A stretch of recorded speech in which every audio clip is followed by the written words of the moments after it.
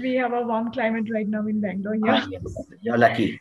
yeah, so in some yeah, in some way. So so we uh, we are there in the maths department, uh, seven of us, and uh, here we were into the. I mean, I mean, you may be knowing the B and the MTech courses right now running here, and MBCA also. So we are really like uh, very privileged to have this uh, National Mathematics Day celebration to be hosted by, by the mathematics department at DSU. We're really privileged and moreover to have such a uh, speaker as you here. Uh, Thank you, madam. Thank you. I think uh, Professor Deshmukh has uh, planned it very nicely. so, so uh, really looking forward uh, to listening from you. So we have a few minutes. I mean, um, Dean sir is yes, yes, yes, no problem. I think uh, whenever so, uh, you're ready, please call me. I'll yeah, just come. Okay? Yeah, sure, sir, sure, sir. Okay.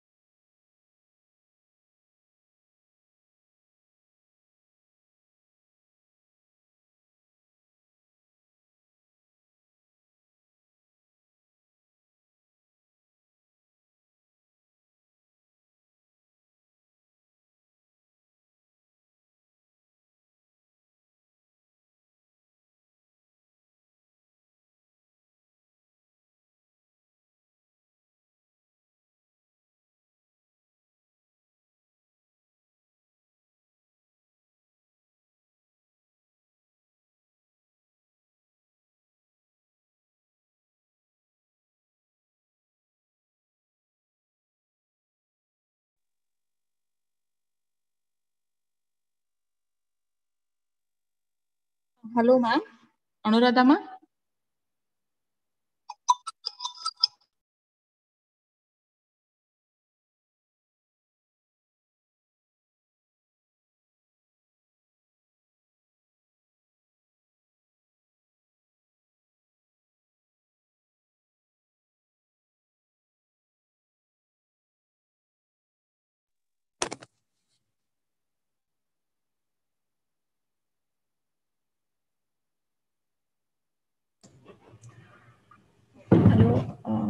Hello, am I audible?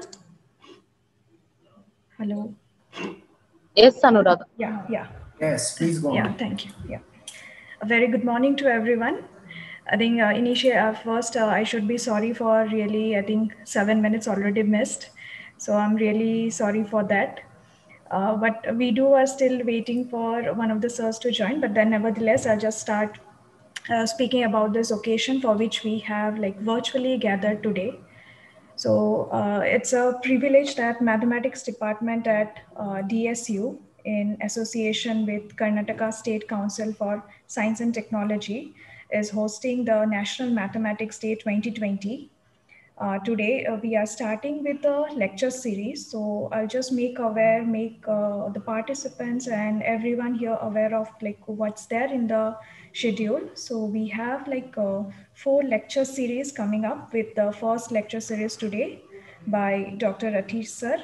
And then from tomorrow on again, we have the schedule brochure has already been shared, I guess, with all the uh, participants who have joined here followed up by uh, some competition. Uh, namely, we have some quiz competition, we have a debate and poster making, and also we have a research paper presentation for the research scholars. So, which all are scheduled in uh, from uh, today, tomorrow, and Monday to uh, Wednesday. So here, uh, as I said, we are really very honored for the opportunity given to us. And today we have our very honored uh, expert, sir, Dr. Ratish Kumar BV from the Department of Mathematics and Statis- Statistics of IIT Kanpur.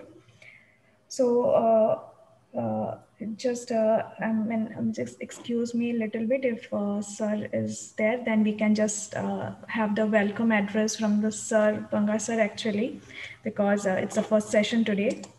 And we just thought we would have it from uh, sir. Uh, has sir joined? Uh, anyone? Komla has sir joined? Okay, okay. Uh, Banga sir has joined. Okay.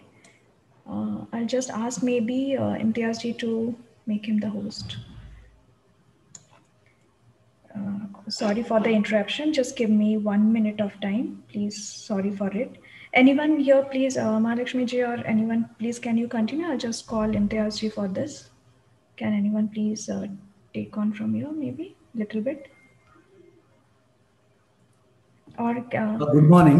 Good morning, everybody. oh, oh, Uh, sir Good is there. morning, Professor uh, Ratish Kumar. Good Uh, morning. uh, Dr. Banga here. Good morning, uh, Dr. Banga.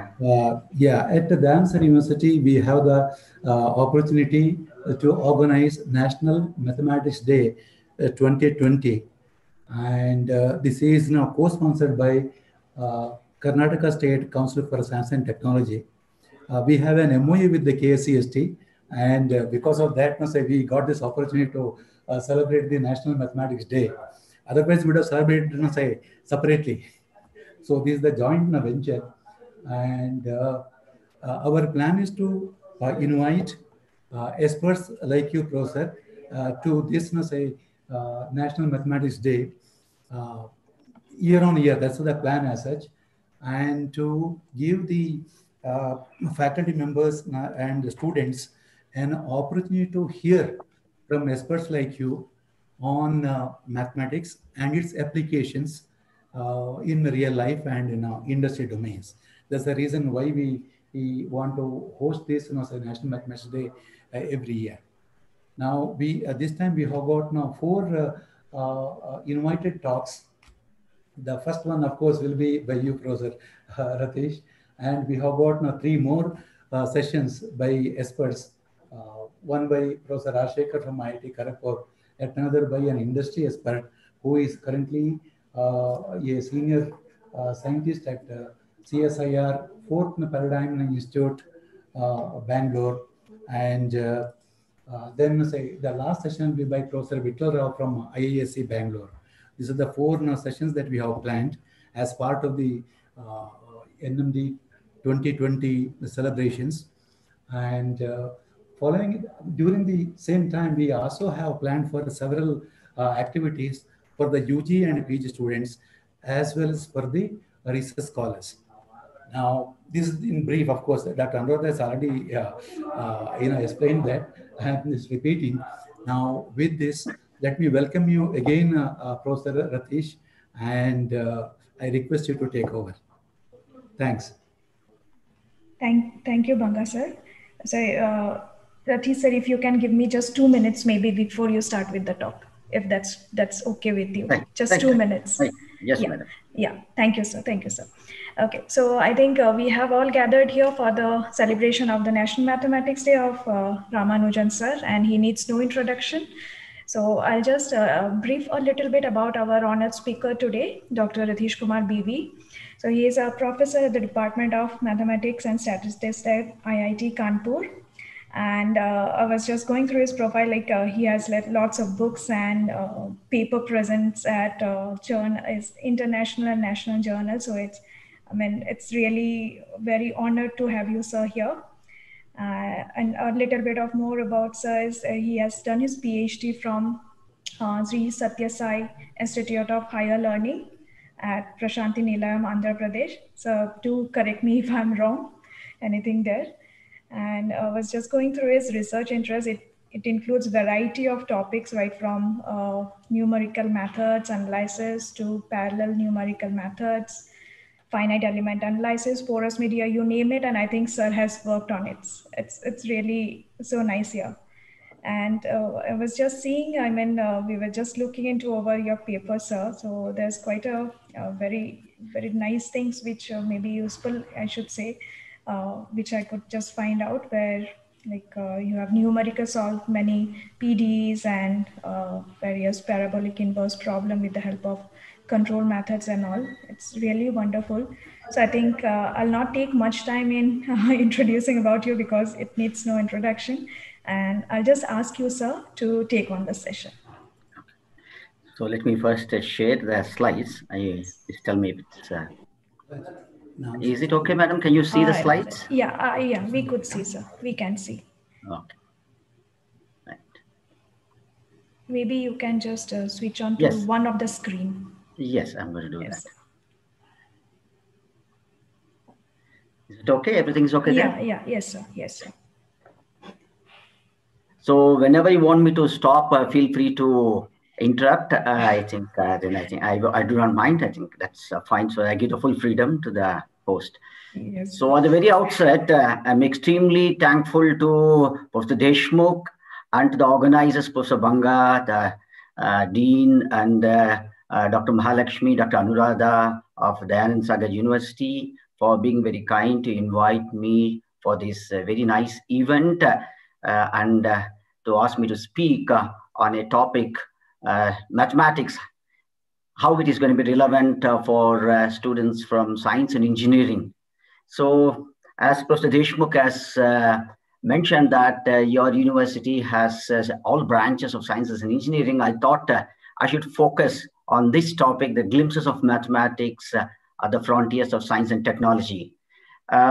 In, fact, it is a great privilege and an honor to address a gathering on this on this occasion of Ramanujam's uh, celebrating Ramanujam's great achievements. Uh, so I would say that uh, this talk, I would like to call this as a tribute to Professor Dr. Ramanujam. So though Dr. Ramanujam, we know that uh, he was conferred his uh, doctorate degree by the Oxford for the work that he has produced uh, uh, when he was there.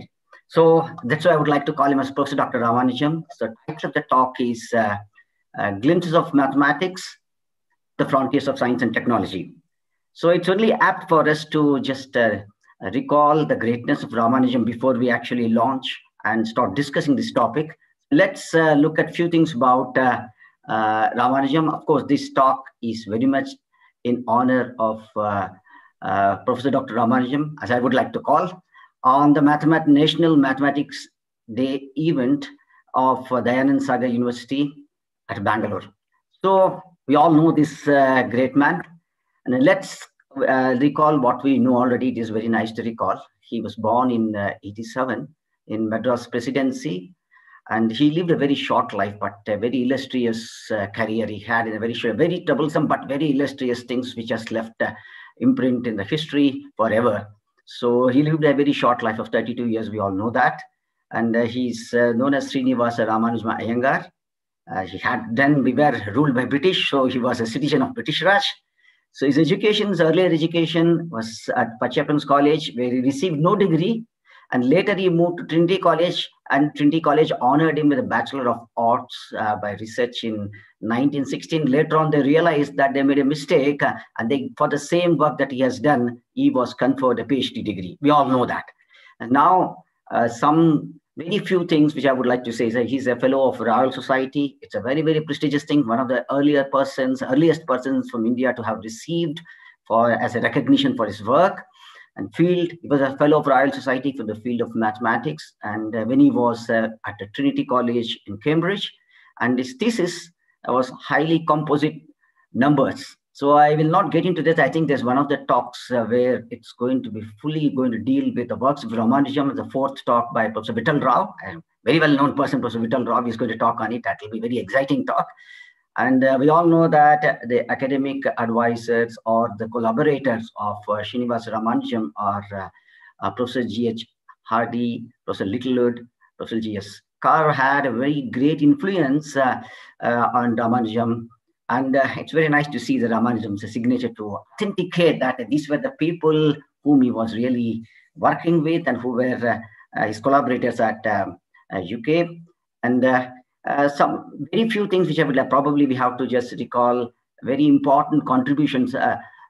Landau-Ramanujan's constant mock theta functions, Ram, Ramanujan conjecture, Ramanujan prime, Ramanujan Soldner constant, Ramanujan theta function, Ramanujam's sum, Rogers Ramanujam's identities, Ramanujam's master theorem, Ramanujam's Sato series. I will not get into any of the technicalities because you have a specialized lecture on it, but I thought it, it's very important to mention these important things uh, for which he is very well known.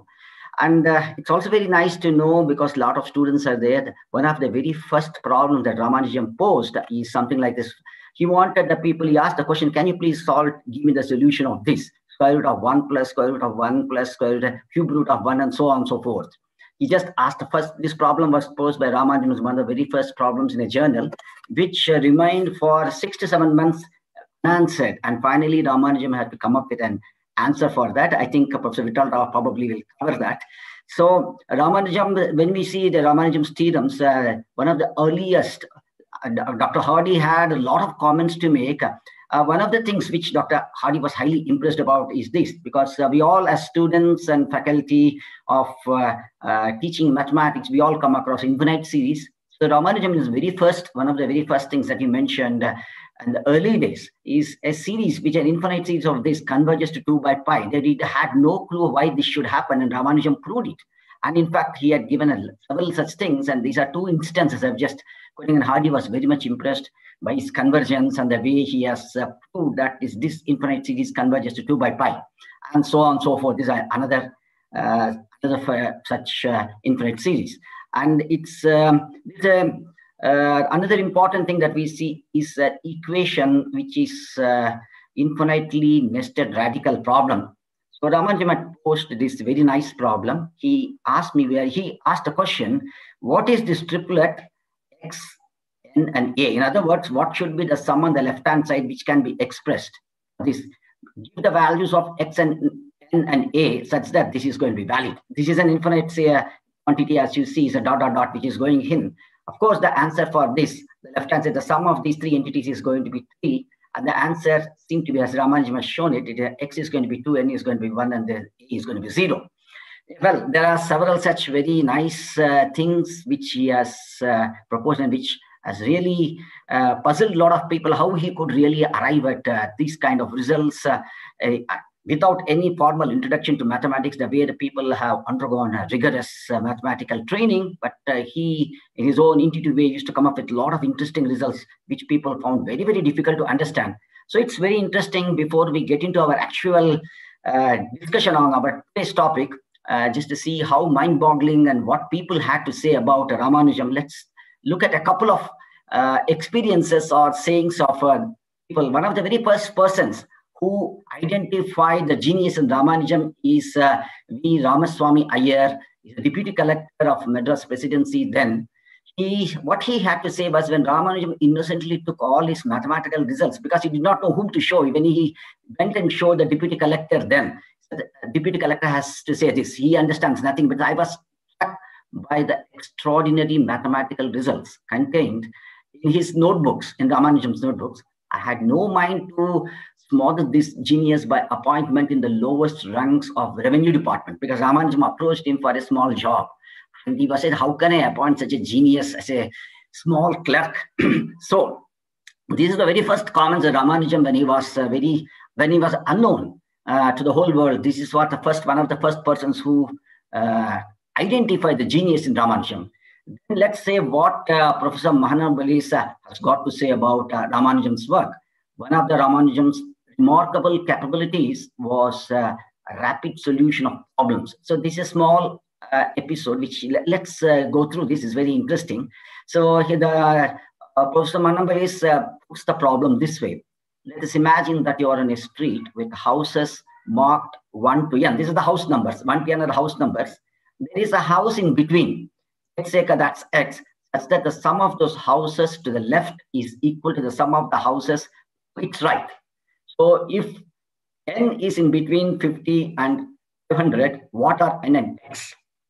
So this leads to the notion of continued fractions, and this is one of the first problems which impressed Mahalanobis about Ramanujam's genius, and Ramanujam, of course, there are a lot of papers. It has a vast theory of continued fractions and its applications.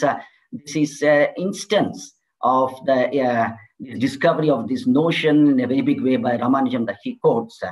So let's also look one more thing about uh, what Professor Hardy has got to say about uh, uh, Professor Ramanujam. This is a very famous problem. I think many of us know. Very nice to recall. This is called a taxi cab numbers.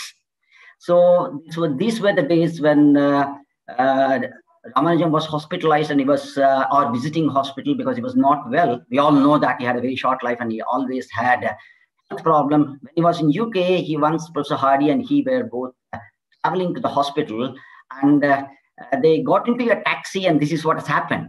I remember once going to see uh, see him, see Ramanujam when he was at Putney. I was uh, ridden in a taxi cab and the number of the taxi cab was 1729 and remarked that the number seemed to Dr. Hardy as rather a very dull number. And I hope that it was an unfavorable. No in the reply from Ramanujam. It's an interesting number. It is the smallest number expressible as the sum of two cubes in two different ways. This is what Ramanujam is immediately the moment he says it's a very dull number, Ramanujam comes up, no, it's an interesting number because this is the interest in it. That's the genius. The moment he says Ramanujam's flash, in a flash, he comes up with it's a very interesting number because it's one of one of it's a number where there are it can be expressed as cubes of two different in two different ways. So this is known as a famous taxicab numbers, and it led to the generalization. Yeah, that's very interesting. So uh, he's a genius, as we all know now. This talk will be a tribute, so I will not go more in the direction uh, in these aspects. I just I thought it's very right to recall some something about uh, uh, Ramanujam's greatness, and you will have a full talk on that on the last uh, day. So let me now get on to the what we propose to discuss today. So today, the outline of the talk is uh, we're going to talk about, uh, as I said, mathematics at the frontiers of science and technology. So definitely, it's a very challenge to do justice to this topic. But what I plan to do is uh, we try and plan to have some snapshots or uh, some glimpses as how mathematics is really helping us to deal with the frontiers of science and technology. How is it really advancing uh, science and technology? Well, let's get a feel for it. It's not that we do not know; we know it maybe it's a one way of formally organizing and looking at it in an organized way. So we're going to look at the whole thing to the fantastic world of uh, simulation and visualization. We all know that mathematics is very much the heart of the world of modeling, simulations, and visualization. And uh, we will also look, uh, today we are going to take a tour, as I had mentioned in my brief abstract, uh, in a very layman's way. We just go over as if uh, we know nothing, but let's look at, take a tour and how mathematics is really at the frontiers of science and technology. I don't know whether I'll be able to play this uh, five minute movie, but uh, have a couple of beautiful movies. Uh, if time permits, we will attempt it. So, why math and where is math? We all know that mathematics is fundamentally entrenched in the world. It's everywhere. It's an integral part of many different disciplines. So mention a discipline, we can find mathematics in it. And in fact, they're going to see that some, at least uh, some evidence for that I would like to really uh, show it today. So advanced mathematics uh, is becoming more uh, relevant to today's society. Yes, it has been identified and uh, you know the current situation in which we are playing, which we are really facing the crisis, COVID-19, it's, it's itself is an ample proof for how mathematics is really helping. We will come to that scenario very soon. So mathematics, as we all know, is the hub of science. So it is, uh, everybody would definitely agree with me that it is definitely being used today in medicine, chemistry, physics, economics, biology, manufacturing, engineering, finance, communication, geosciences, and whatnot. I'm going to pick up few examples from each of these things because we are going to look at the whole thing as a simple popular tour. And I, it's very important for us to uh, highlight and look at all those aspects as how mathematics is uh, playing a big role in all these areas. So before that, let's see how people, the world has accepted mathematics.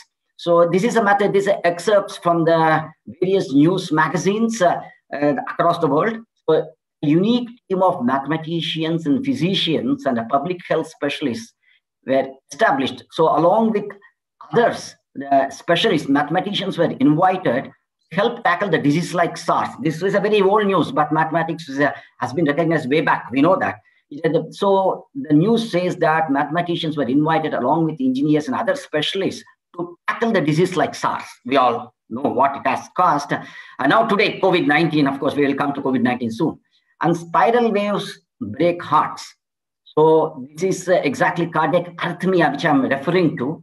The new research stresses the importance of communication between the cardiac cells. And this communication details, uh, I will subsequently come to this, uh, uh, highlighting this particular thing, how mathematics is helping to deal with spiral waves, which is really breaking hearts when I say that it is cardiac arrhythmia. So cardiac diseases are one of the very uh, big challenges that we are facing across the world, and mathematics becomes a virtual tool to handle and get ideas to deal with this spiral waves, which is responsible for the cardiac collapse in the terms of uh, cardiac arrhythmia.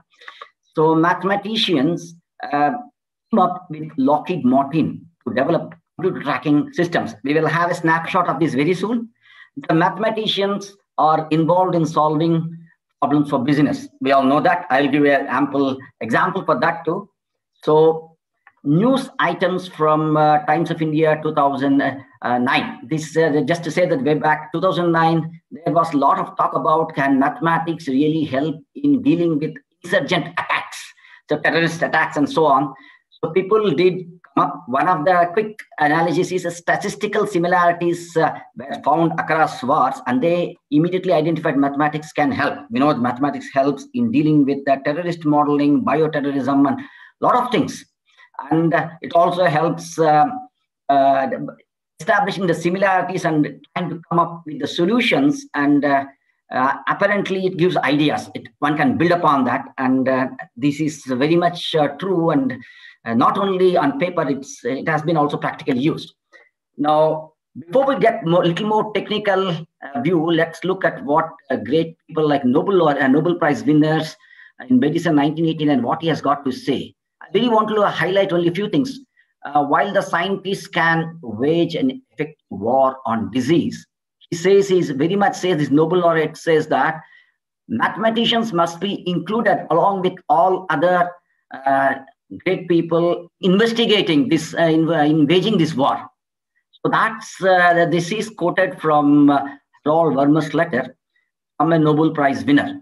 So the people uh, all ranks have recognized the importance of mathematics and we will see how today it has helped to the our modeling we will also have a look at how it is helping in dealing with covid so let's look what uh, sir michael atiyah the very famous uk mathematician what he has got to say about mathematics uh, he says that mathematics is an art and a science having an aesthetic and practical qualities a modern civilization rests firmly on mathematical foundation on the other hand, the diverse forces that created this great edifice is human curiosity in its purest form. So, the, Sir, Sir Michael is a very, very well-known mathematician in the world, and this is what uh, he's got to say about uh, mathematics. And I wanted to say one of the very important things that he has, the key principles of mathematics can be described as analogy or abstraction sim- structural similarities between diverse areas can be analyzed by concentrating on essential common features and ignoring the detail. What did actually he mean to say by this? He gives an example for that.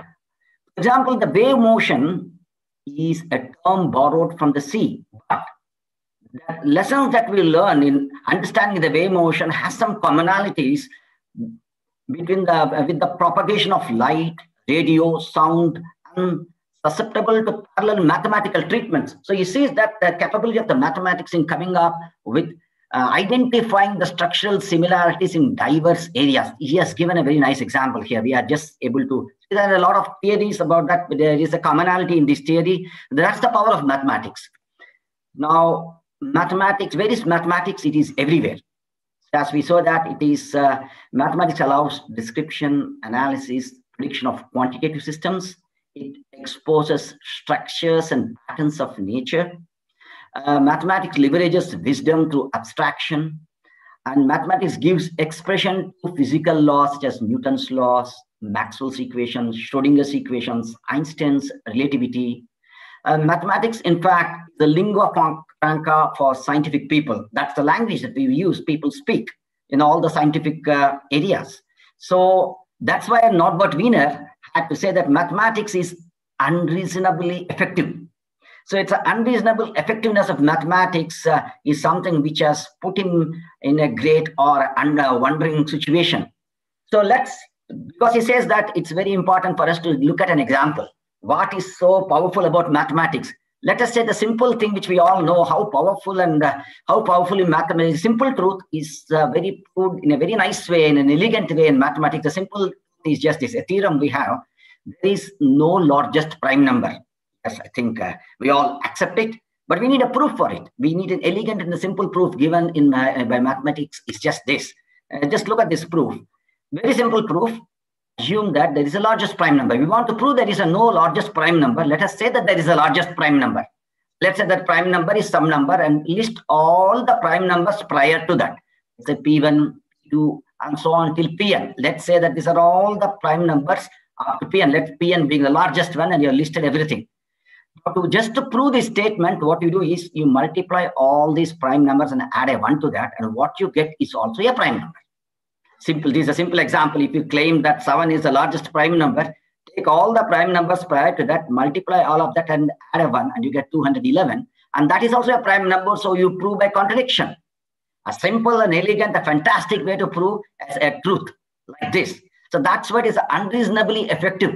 So nobody can refute such a simple and an elegant proof. It's unreasonably effective. You can see that mathematics is uh, reasonably effective. This is a very simple mathematical proof which a school child can easily understand. At the same time, you can see how effective, how powerful is this uh, system. So let's look at another very famous uh, theorem which has got a tremendous amount of application in cryptography, number theory. All of us know the Fermat, Fermat's last theorem. What does the Fermat's last theorem say? The equation x to the n plus y to the n equal to z to the n has no integer solutions for n greater than 2. That's uh, the, which is known as the last Fermat's theorem. We all, uh, many of us uh, do know that. And uh, what then uh, n equal to 2 has many solutions. For n equal to 2, there is uh, solutions, and that's the Pythagoras we know. For n greater than 2, there is no largest, there, there is no integer solutions for n greater than 2. That was the Fermat's theorem. And Uh, Fermat says, I discovered a truly remarkable proof which is which this margin is too small to contain. Fermat had a proof, and he his, when he was writing this theorem, he had proved it. He wanted to include it. Unfortunately, he only his margin space was available for him. He did not have additional pages, and he says that this margin is too small to prove, and he left it at that. Or maybe we lost the proof. The history that we lost the proof of that, but so it remained unsolved a very long time. We all know that this was posed by Fermat in 1630, and it's a very, very important result. And it was proved in 1994 by this great gentleman. Maybe some of you immediately recognize who this great gentleman is. Uh, let's see how this great gentleman had proved. It is uh, tapas that he has a great penance that he had uh, really done to do that. And this is uh, in his own words. He says that my wife has only known me while I have been working on Fermat. That's a Fermat's theorem. I told her a few days after I got married, I decided that I really only had time for my problem and my family. Nothing else mattered for in his uh, in his life. Only his problem, and he is taking care of his family. When you are talking to in, uh, your young children, you are simply not interested. They are simply not interested in Fermat. That means all that he knew to talk was only Fermat. Even the young children, he was talking only Fermat. So that's the dedication that he had. So the first seven years, I worked on this problem. I loved every minute of it. There had been setbacks. Obviously, when he was just only talking and thinking of Fermat, there will be setbacks. Things which he had seemed insurmountable, but it was a private and a personal battle for him. He never left it. He kept on getting doing his penance with Fermat. And one fine day he discovers the proof. Suddenly, unexpectedly, this incredible revelation. That means he proved the Fermat. He wrote in the entire board, blackboard was filled with Fermat's proofs, and he was not able to believe it. He wrote the proof on his table and kept it on his table, and he was wondering, did he really prove it? He says that he walked around the department. He keeps coming back to the table and see if it is still there. Was not able to believe that which was posed in 1630 and he was uh, put in 1994. We all know that this great gentleman is none other than Andrew Wiles right? There's a movie. I think many of you would have enjoyed seeing the movie. If not, you see this movie, the way he discovered the kind of the uh, life that he has led in proving this theory, theory and all that. Uh, it's very, very interesting. It's really a penance that he has done, and he has discovered this open problem. He solved the open problem which was posed by Fermat in 1630, later in 1994, and becomes a very important theory for various applications in cryptography. So this is 1994. Let's look at what has happened subsequently. What you see, this is the, the AKS primality test. This is of our very recent proof given by this great gentleman, Professor Manindra Agrawal. So AKS primality test, which is also known as uh, Agrawal Kayal Saxena primality test and uh, cyclotomic AKS test. So what is it all about? It has a very important application in cryptography and number theory, so which is largely used uh, for uh, coding purposes, uh, for getting special scripts. So it has a tremendous application for that. What is it all about? It's a deterministic primality algorithm created and published by this great gentleman. In fact, I'm proud to say is my colleague at IIT Kanpur, is uh, currently a, a, professor of IIT Kanpur. So, so Manindra along with the students Neeraj Kayal and Nitin Saxena have come up with this AKS primality test. Uh, so he's from the computer science department of IIT Kanpur, and this was proved in 2002, and this was also an open problem which was proved uh, by him and his uh, students. the paper is titled as Primes in P. So what does it do? The algorithm determines whether given number is a prime number or a composite number within a polynomial time. That has been a challenge because it has tremendous amount of applications. They wanted to prove it in a polynomial time. And uh, he, uh, his algorithm actually comes up and uh, deals the whole thing in a polynomial time and he proves it. So for which he receives a Gödel Prize and Fulkerson's Prize and Bhatnagar Award and so many things. So I just wanted to say, and it has tremendous amount of applications in uh, cryptography. So that's the, uh, the important problem in number theory and cryptography. So now let's get into some very popular uh, applications where mathematics is really at the center of it. let's start off. I think a few areas which I would like to touch upon are functional genomics, finance, cryptography. Uh, we have already mentioned something about cryptography. Simulation of physical systems like aeroplanes, tokamaks, hurricanes, simulation of discrete systems like uh, traffic flows, networks, battlefields, immersive visualizations like creating movies, like uh, you can uh, uh, number of movies. We will get to see some example like Titanic is one very famous example. A lot of gamings like Xbox, etc. The mathematics and CFD is very much behind it. Biomedical engineering. I we'll draw applications and various these things and many more. Let's first start off with uh, functional genomics. So the famous problem, the functional genomics is the protein folding problems. What is the basic protein folding problems? We have uh, series amino acid sequences which are in this way and which uh, which are responsible for a three-dimensional folding.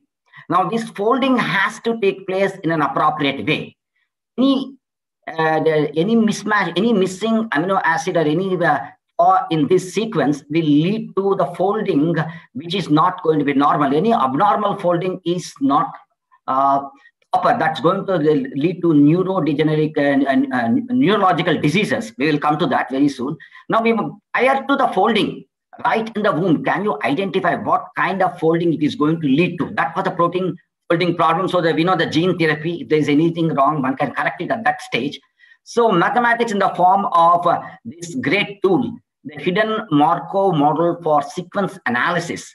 So that becomes an effective tool as soon as be, even before the folding starts, looking at this sequence, using the Markov model analysis, one will be able to come up with what kind of foldings this is going to really lead to. This sequencing, what kind of folding it is going to lead to. So this is a problem for molecular biology for which uh, the mathematical tool called Markov modeling is uh, sequence analysis is used for for defining a priori even before the folds take place what kind of fold this kind of uh, sequence of amino acids is going to lead to. So which means if it is going to lead an abnormal sequence you can correct it right away. That's uh, uh, that's the whole purpose about and uh, this is a result which was uh, uh, proved by Minoru Asia and Oxford University in 2000 so what is the protein folding problem? As I already mentioned to you very briefly it's a three-dimensional structure.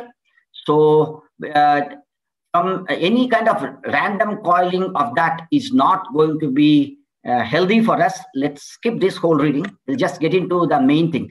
The correct three-dimensional structure is essential to function, although some parts of functional proteins may remain unfolded. Failure to fold to native structure generally produces an inactive protein. But in some instances, misfolded proteins have modified or toxic functionalities. So if there is any wrong folding, it can lead to neurodegenerative disease. So we would like to correct it as early as possible and avoid these neurodegenerative diseases. So given a sequence, prior to folding being taking place, and you really identify the kind of the folds that it will end up with. So that's the Markov chain analysis that helps you. Hidden Markov chain modeling uh, helps. So that's a very important uh, application of mathematical tool in uh, in uh, biochemical engineering or biochemistry or molecular biology. So to come up a priori the folding uh, and correct it right the sequencing stage. So that's a very important application of uh, mathematics in uh, molecular biology. So this work, as you see, is published in the Annals of uh, Biomedical Engineering. It's a protein folding problem. If you were to Google it, you will say, sorry, Annual Review of Biophysics. It's published in Annual Review of Biophysics 2008. So you can just uh, Google it and you will get to see what is a protein folding problem. So you will get to see the important application of uh, uh, this uh, Markov theory, Markov chain theory, uh, then it helped a big way in handling this protein folding problem. I will not get reading get into the reading of this. Let's get into other uh, exciting applications for us. Now let's get into the world of uh, financial uh, mathematics. So we all know uh, the famous story about uh, Black-Scholes-Merton's formula. So way back in 90s, there's a 1997, uh, sorry, way back in 1997, so the economic, the Nobel Prize in Economics was given for the discovery of this, uh, sorry for this, I think. Uh, so Nova documentary about Black Merton Scholes formula. So way back in 1990s, uh, this uh, Black-Scholes equation has created a lot of uh, uh, lot of interesting results in the stock market. So it shook the stock market all of a sudden, and suddenly overnight, people became uh, people who followed the trend that was dictated by this Black-Scholes Merton's formula, uh, who and then invested the money became rich. Of course, the story also says that after they became rich, a lot of people who subsequently tried to follow the predictions made by this Black-Scholes Merton's formula immediately failed. There was some flaw in it. Subsequently, it was fixed, and that the whole financial mathematics became very important subsequently. But anyway, the important story which started with the Black-Scholes Merton Scholes formula, and there's a Black-Scholes Merton equation. There's lots of methods to solve, a lot more uh, modifications and improvements came up. So this is a very one of the very important stepping stones or very important discoveries uh, in the uh, mathematical economics or financial mathematics, uh, which has led, which has really changed the way of thinking in the in the business world. So Nova documentary is something which talks about. You Google it and you can see it. Nova documentary about Black-Scholes Merton Scholes formula. The film tells the fascinating story of invention of the Black-Scholes formula. It is called as the mathematical holy grail and it received the Nobel Prize in Economics in 1997.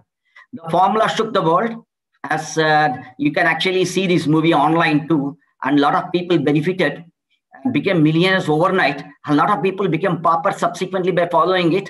But later on, that led to the whole branch of financial mathematics exploding like anything. Subsequently, they corrected it and they came with so many different versions of it and uh, the limitations and how to remove the limitations and how now currently financial mathematics deals a big branch has come up and a lot of things really happen in dealing with the realistic data.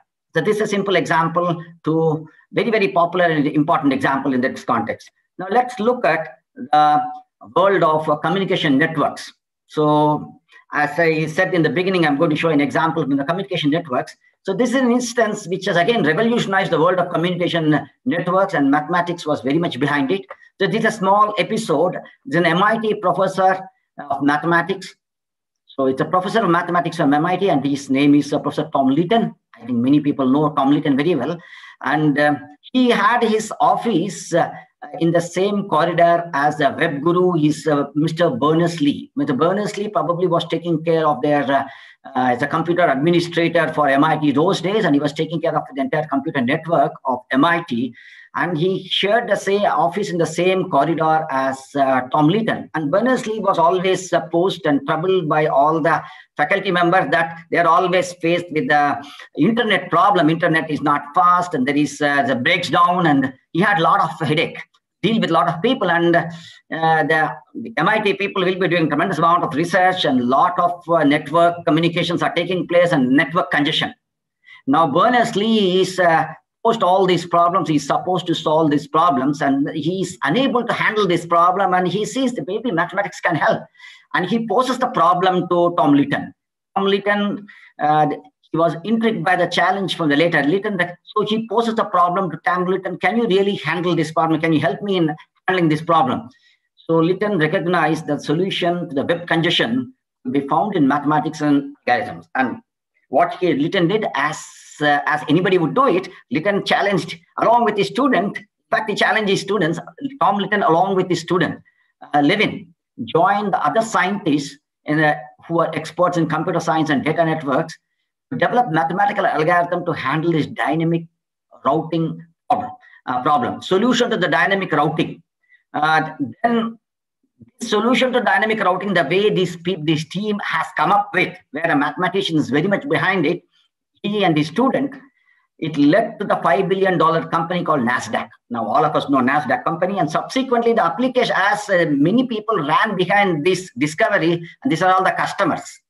So as you see the you see Adobe, Apple, C-SPAN, CBS, and uh, very well known Los Angeles Times, Lycos, and New York Times, so many Yahoo. So there's a number of them. So you can see a number of companies running behind the solution, the dynamic routing algorithm, which he has uh, Tom Leighton with his student uh, Levin and other experts have come up with.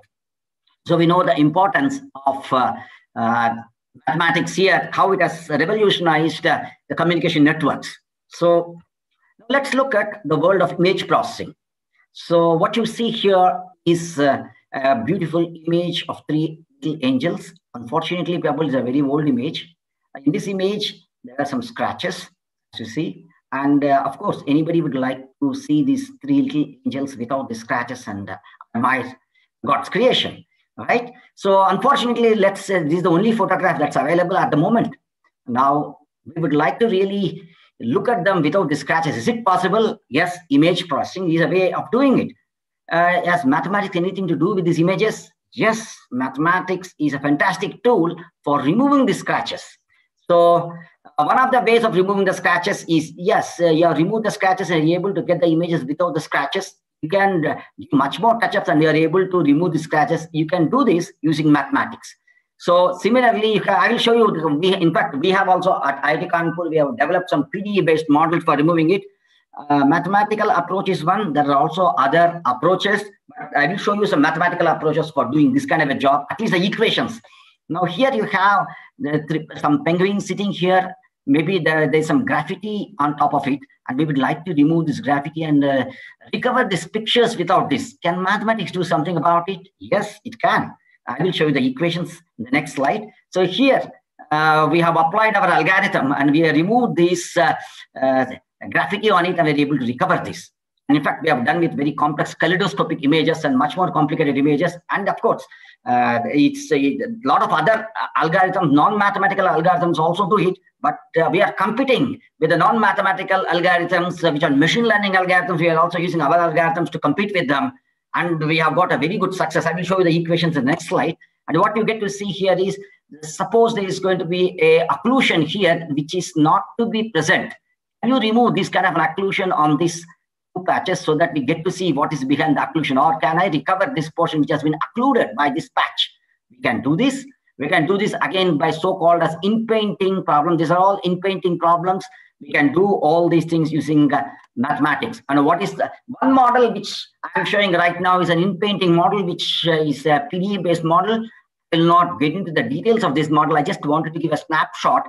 Uh, this kind of a partial differential equation based model where U stands for the image information or image intensities.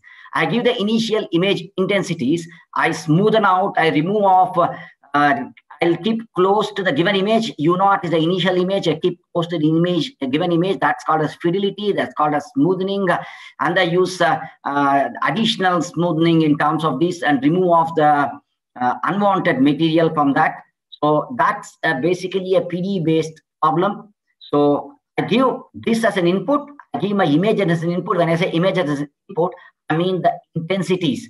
So uh, let's say intensity range, at maybe if white is zero and black is one or vice versa, and a range in between them, the grayscale, zero to 255, right? Each of the values will rep, uh, represent one intensity. You give that intensity the digitized or discretized version of this problem, and it solves to give back images of this kind. You'll be able to do that. And in fact, I would, uh, we have come up with this kind of in-painting model. We have refined these models. We have come up even uh, robust models, uh, and we are competing currently with even the machine learning algorithms to say the machine learning is very fast. And some of our PD-based algorithms seem to be competitive and uh, producing good results, if not worse, than the machine learning approaches, which is highly competitive these days. So it has a very big promise. So this is only one instance such an image processing number of areas. Like what i am showing you is just an instance of what is called as painting. That means you remove these scratches. You can segregate you can uh, take classify this image. If i want only this little angel to come out and want to preserve only this little angel separately and each one separately that means segmenting the image.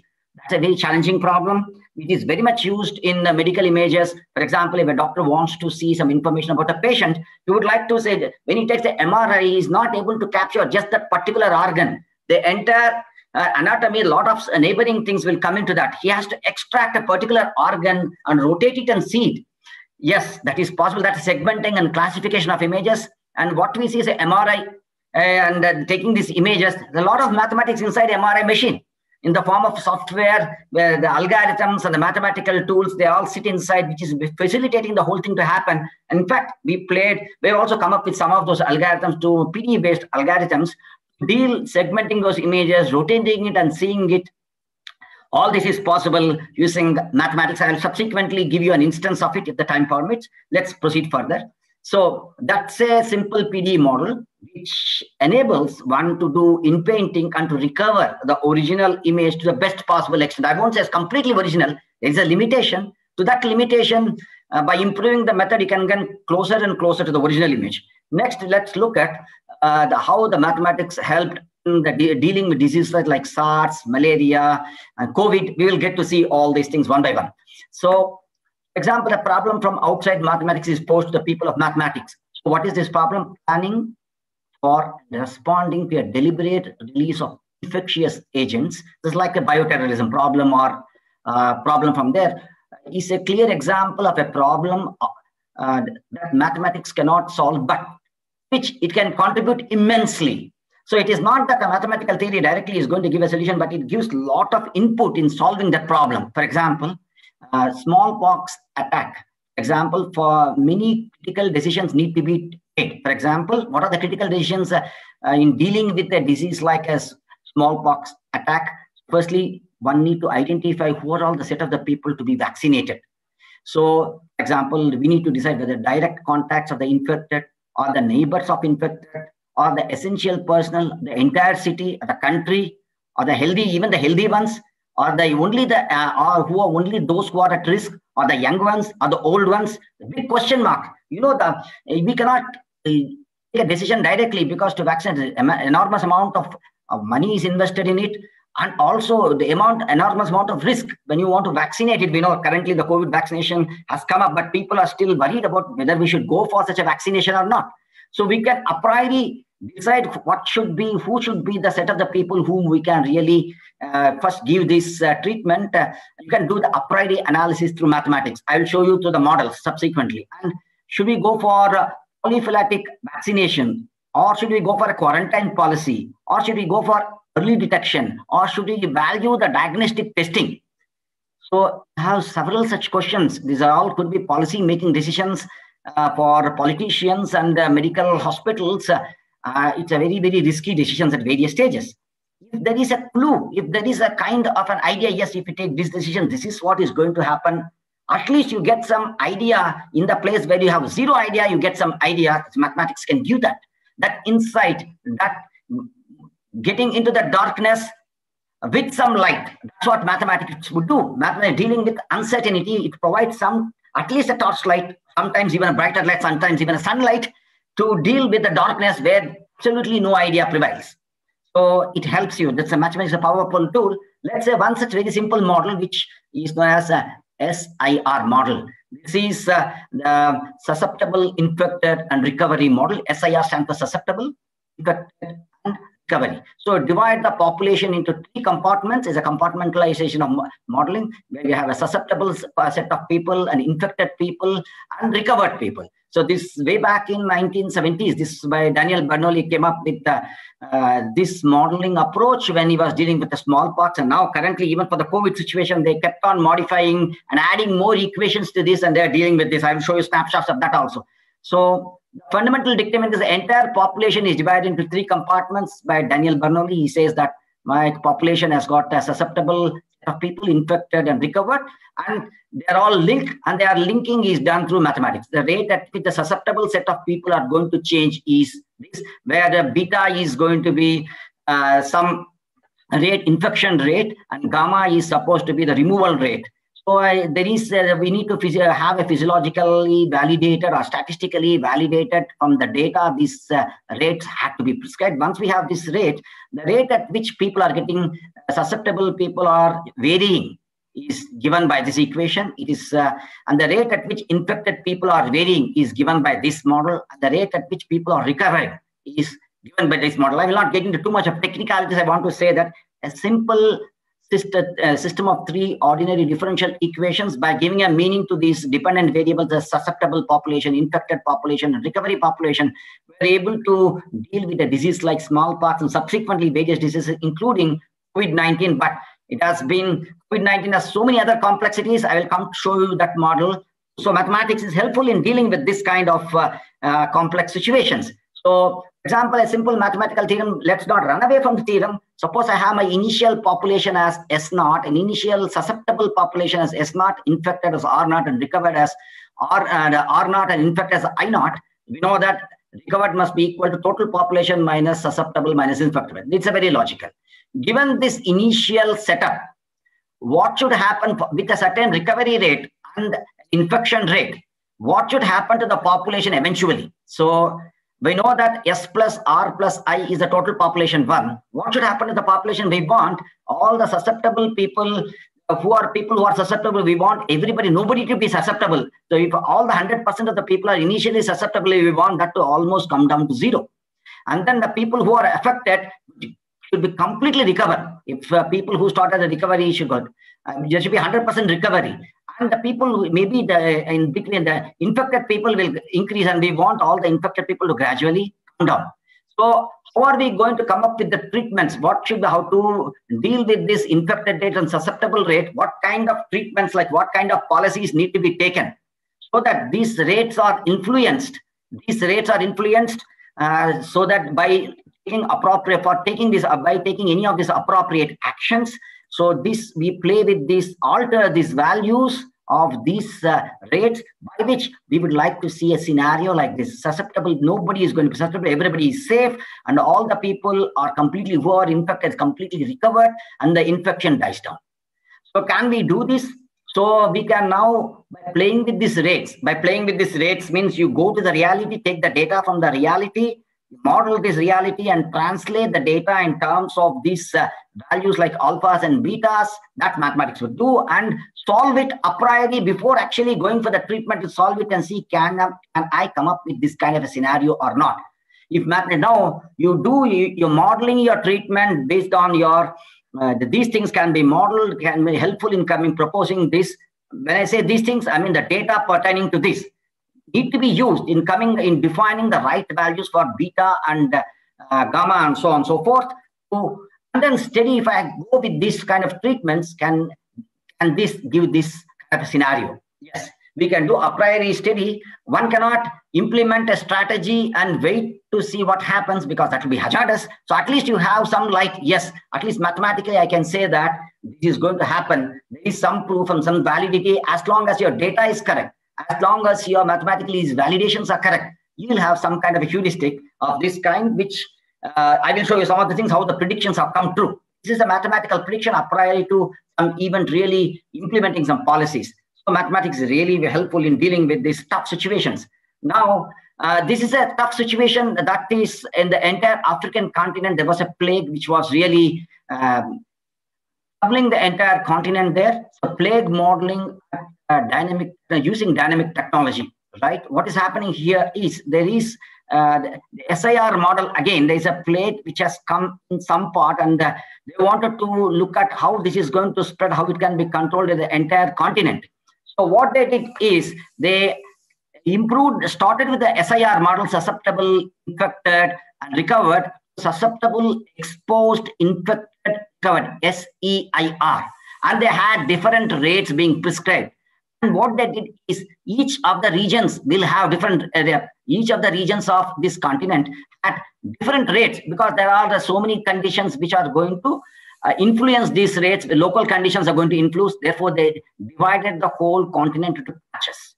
And each of the patch is dealt with a model SEIR. For example, SEIR is an additional equation is included. It's SIR model. They came up with SEIR. E stands for exposed susceptible, exposed, infected, and recovered. So cover the entire continent with these patches.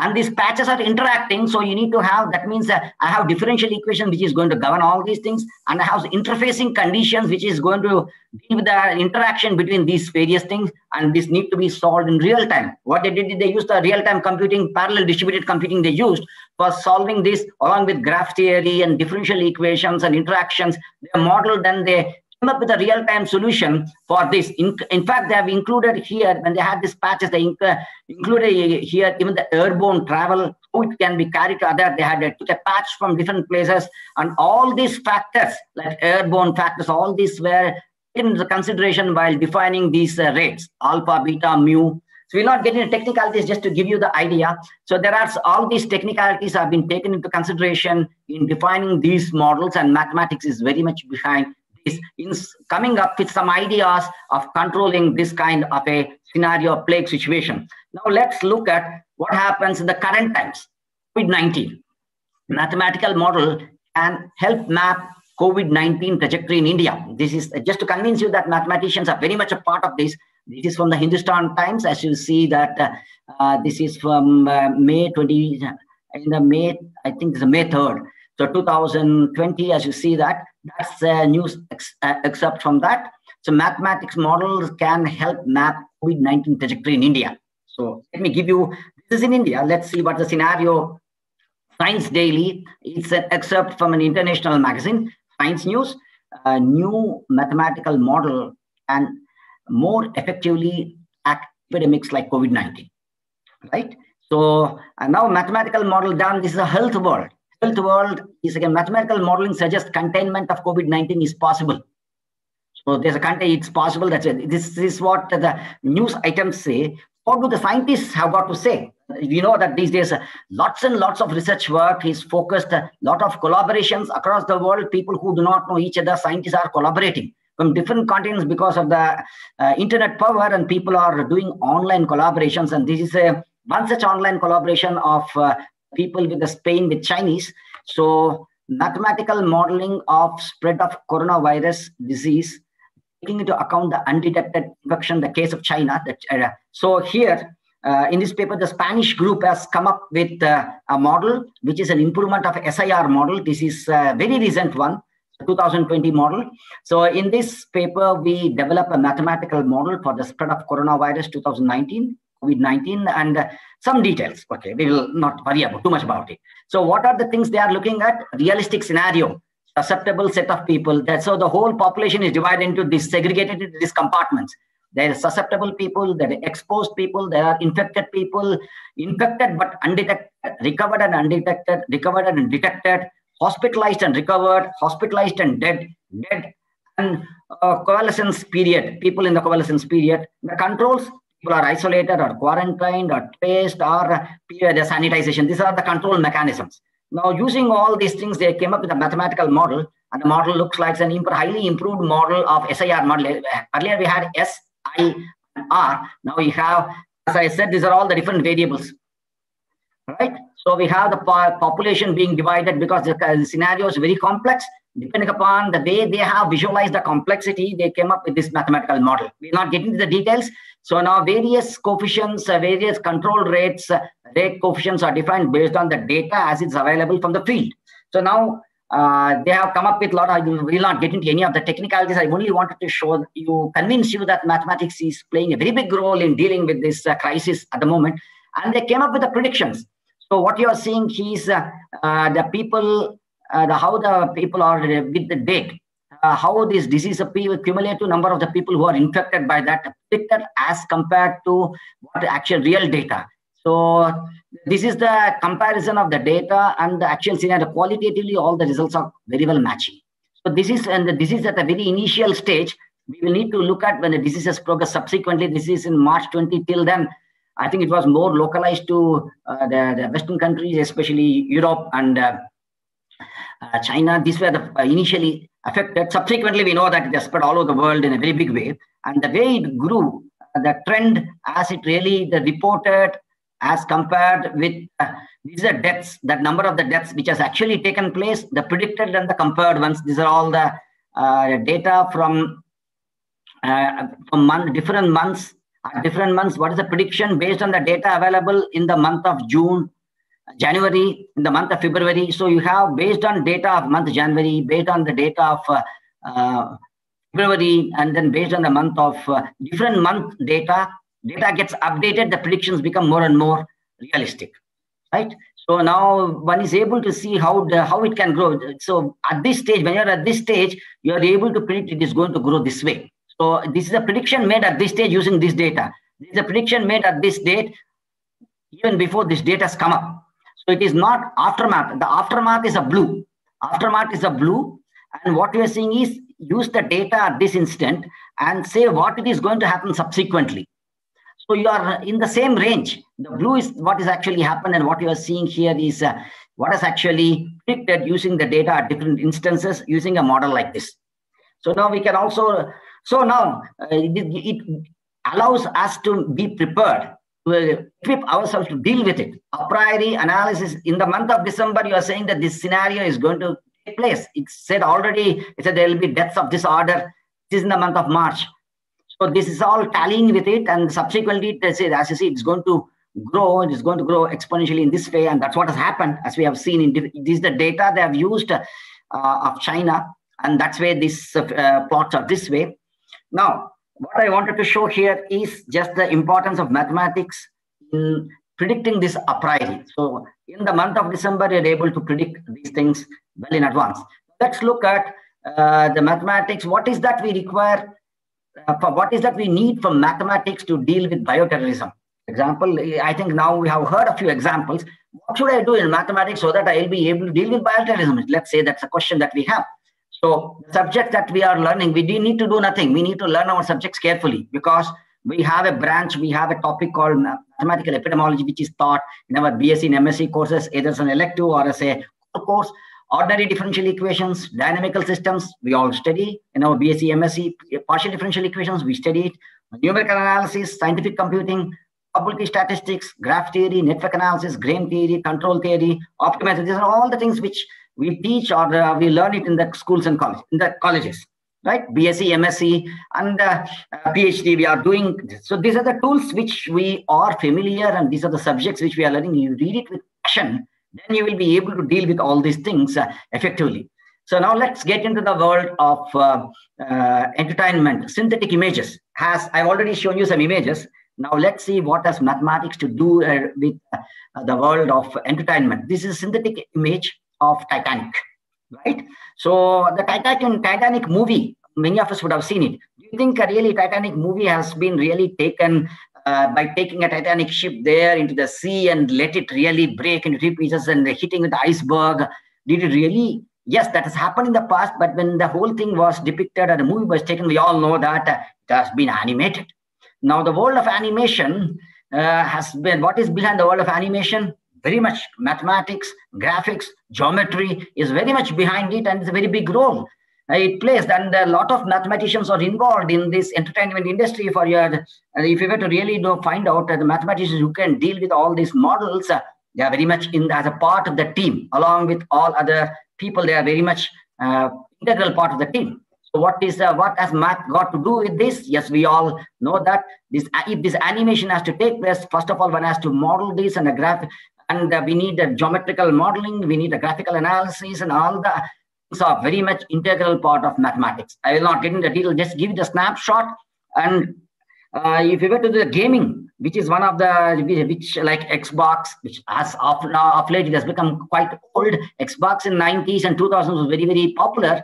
These days, a lot of other computer games have come up, but uh, the gaming mathematics mathematical numerical methods, solving partial differential equations, ordinary differential equations, visualizations, and matrix analysis, linear algebra has been very much behind this entertainment industry.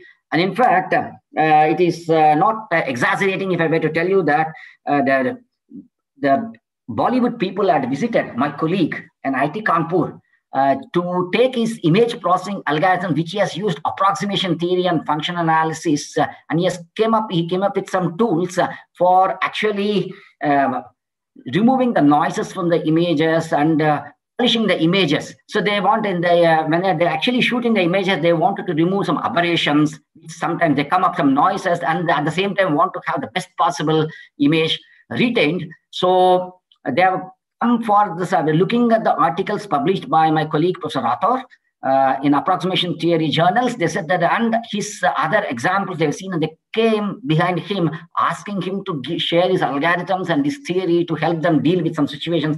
And something very well uh, nice happened there. And so do many of the medical practitioners uh, also came when I come to the medical examples. I'll show you about what has happened in the medical world. Now we will slowly move into the world of simulations, how mathematics has played role in uh, uh, scientific uh, computations and in entertainment industry I already have shown. So scientific computations uh, uh, dealing with the physical phenomena is uh, very, very essential because you will not be able to really carry out the physical experiments because they're hazardous or dangerous or very expensive and time consuming. So whenever it is inexpensive and easy to do, we do it in the laboratory. When it becomes expensive or impossible, then the only way to do is uh, go for alternate approaches as the world of virtual world that is simulation. Now, what is mathematics is very much the heart of simulation. We know that, and I'll give you some examples of that. Similarly, when you have uh, entertainment industry, if there is an inexpensive shot, do it. If it's going to be expensive, you go for visualization and animations. So that's uh, been a very, it's become now universal and uh, standard. So simulation complements experimentation and these days data. So we know that the data simulation, data experiment theory, simulation, experimentation, and data, these are the four branches, right? So where are all the scientific simulations are used in all branches, where whenever there are controversial experiments to be done, like uh, looking at a drug design and drug and drug analysis, or you cannot really do under uh, uh, drug designing could be hazardous, and it could also drug treatment and testing it out can also be done virtually before they take on to the lab experiments and then um, giving the mock test one can also go for one step behind and do a virtual test. And this all is facilitated again by mathematics along with other subjects. Put together helps us in realizing this goal. Again dealing with the dangerous experiments uh, and also like underground experiments like underground water flow or global climate prediction all these things. We want to do that you can do in a virtual world simulate the whole thing and we all know this and uh, radiation transport, supernova experiments, all these things you will be able to simulate it out using mathematical models on uh, digital computers will be able to do that. Same thing happens for structural dynamics, electromagnetics, and uh, if you want to do with experiments with combustion, ICF, uh, ICF modeling, you will be able to do that again using mathematics. Now, let's look at, start with the simple example that mathematics is used in a big way, right? So airflow over the wings can be modeled and visualized we all know that uh, uh, the wind tunnels, which Bangalore, of course, has uh, National Center for Wind. There are two famous wind tunnels with the National Aeronautics Laboratory, and you all know that these kind of experiments take place. and that's also an expensive experiment. You physically get a component and do keep the component of a plane, or just to see what is the profile it's going to be there, what will be the stresses and the strains. So that's also quite. That's one way. You cannot do it in the air but alternately, on a digital computer, you can create a part which is a wing and you can simulate the airflow and you can measure the pressure, stresses, and the strains and come up with a model which is going to be optimal with respect to these. Uh, so that what is that we would like to have? For instance, we would like to have minimal uh, maximum uh, thrust on it and very good lift force, a very good thrust force, and minimum drag force.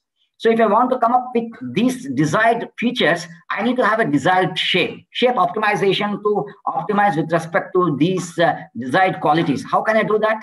Can do that by either going to the wind tunnel or really make an aeroplane test it out. That's not possible. So we do the wind tunnel testing. That's what we do usually. That's also very costly, but you can do hundreds of experiments virtually and carry out few internal experiments to validate it and finally go with more confidence for practical work and mathematics so aerodynamics people very much do a lot of a lot of aerodynamic engineers or mathematicians uh, I would uh, subsequently, towards the end of the lecture, I will show some of the aerospace and mechanical engineers who are uh, seem to be high quality mathematics across the world, mathematicians across the world. So this optimization problem, which for which mathematics has been the tool, has won 1999 Gordon Bell Prize. So that has been won by NASA scientists who are engineers, Anderson, S. Kaushik, and uh, Smith. These are the people who work together to come up with this. Virtually, they will be able to uh, come up with the realistic scenario, but what is behind it? Model this airflow is mathematical equations. Shape to find the shape optimization, the mathematical problem, get all these profiles is completely mathematical. So Now, this I have already shown you this bioinformatics uh, problem. We will skip this. This is a protein folding problem. We have seen that it plays a very big uh, role in that. Now, let's look at the example from uh, uh, wildland fire spreads. This is firefighting. Can mathematics do something with the firefighting? And what how, what is the problem of firefighting? For example, there is a forest fire, which uh, very recently we had the forest fire in Australia. It was it led to a very big disaster. It was in news. We all knew about this. Uh, we all know about this instance. Now, what is it? That, uh, what is it that's really a pressing problem here? When there is a wildfire, of course, uh, where they're controlling, putting up the fire is the major challenge, and people will be fighting that. We would like to know what are the, which is the way, depending upon the flow of the wind, which is the way it is going to spread, how fast it is going to spread, which way it is going to diversify, and who are all the immediate set of the people to be evacuated, uh, and how fast it is going to spread with this speed and with this climatic, uh, with the changes in the wind velocities can I do this a priori analysis in a very fast enough? Uh, let's say in a five minutes time, I need to know this may take one hour to spread. In five minutes time, I will be having at least I'll have 30 minutes to uh, warn the people and people can run away. Or uh, this is the kind of a scenario if I'm placed with, can mathematics do something about it? Yes. What we do here is we take the envelope of all these things. We just, I just taken a sample of this that's like an elliptic envelope. And I just for this, we can have an envelope of all these outer surface. And uh, just to depict it, I say that this envelope is looking something like this. I let the envelope grow with the wind velocities and how it is going to spread.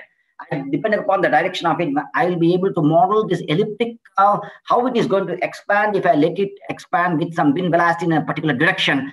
That gives how fast this is going to spread, in which direction it is going to spread. So people have used this analysis and for warning and taking precautionary actions, and that's something which is used in firefighting. So mathematics, a very simple mathematics is very much used there, but you need to give the right data for it, for it to, the way it has to spread, the velocity with which it is to move. So the interfacing of mathematics with the, the data, real data, and uh, has to be done. That's very important. So why wind-driven uh, simulation, that's uh, mathematics is very, very useful in that. So on the experimental mathematics, so that's simulation. Galileo called experimental mathematics uh, simulation as experimental mathematics way back in 19, in the 15th century. He has predicted that there will be open gateway road to a large and excellent science into which minds more piercing than mind mind shall penetrate to this is still deeper. He has predicted that we are going to come into this technologically advanced uh, situation where we are going to use simulation mathematics becomes an important ingredient in the simulation world. So now let's look at simulations a little more technically. What is actually simulation? So what is modeling and simulation? How it can be used and why it is important? And what is the role in carrying out this simulation? What are all the different things along with mathematics, computer science, and subject knowledge? Everything will have to an important role. So mathematical models need to the models uh, that we uh, use have certain assumptions. They need to you need to understand the process. We need to understand the control mechanisms and explore when experiments are difficult to be carried out. We carry out the simulations. So let's look at what does the simulation world actually talk about. So I have a model. So I have an experiment for which I have a model, and the model is uh, run on a computer, right? So that's essentially the triplet. It's a triplet which essentially says uh, the uh, model experiment, modeling, simulation, and experimentation. These days, of course, I should need to have a data also because machine learning comes with the picture there. So that there are a quadrant now. Earlier it was a triplet. Now it's a quadrant. Now uh, the modeling and simulation is uh, becomes an answer becomes an answer for a lot of real world problems. So now let's look at uh, the some uh, the real life problems. How the simulation pipeline is really there and then we get into the simulation pipeline in a very simple way. Let's say this is a process the oil extraction which is taking place. So that's the whole process this model. I have a physical problem here. I call the physical problem as a process. This process need to be mathematically represented. So in this case the picture actually is denoting the oil extraction on a norway seabed. Actually i had a reason. I may not have time to get into details. I wanted to show there is a process.